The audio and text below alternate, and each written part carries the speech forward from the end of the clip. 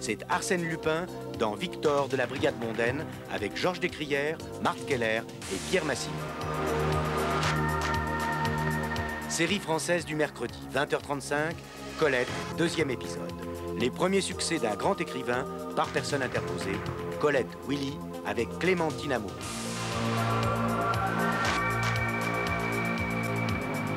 Intrigue, jeudi 20h35. Colombo. Menace pesante sur un célèbre médecin. L'inspecteur Peter Falk se heurte à un certain état d'esprit.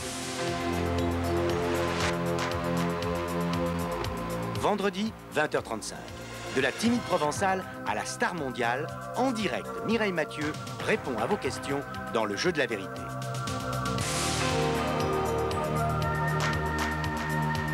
Samedi, 20h40, un merveilleux conte, L'Épidore, d'après un scénario de Jean-Jacques Benex. Un grand film généreux, tendre et drôle. Cinéma du dimanche soir, 20h35, un voyage au bout du rêve et les mirages d'un couple dans Hôtel des Amériques d'André Téchiné, avec Catherine Deneuve et Patrick Devers. Étonnez-vous sur la une.